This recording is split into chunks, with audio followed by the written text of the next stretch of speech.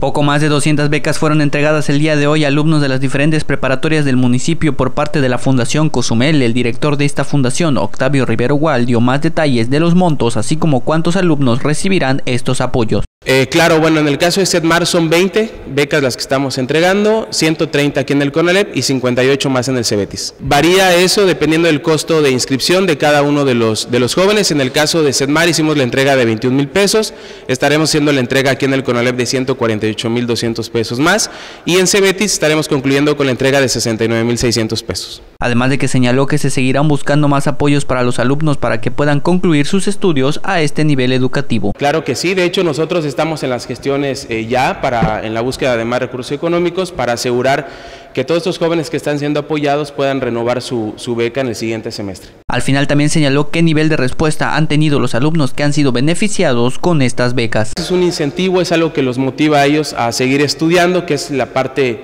importante a la cual está apostando la Fundación, el impulso de la educación con un enfoque comunitario. Claro, pues los apoyos siempre lo reciben muy bien, cualquier apoyo que se da a cualquier persona siempre pues es muy bien recibido y nos, hemos encargado junto con la escuela de que estos pues puedan eh, ser bien encausados por los estudiantes.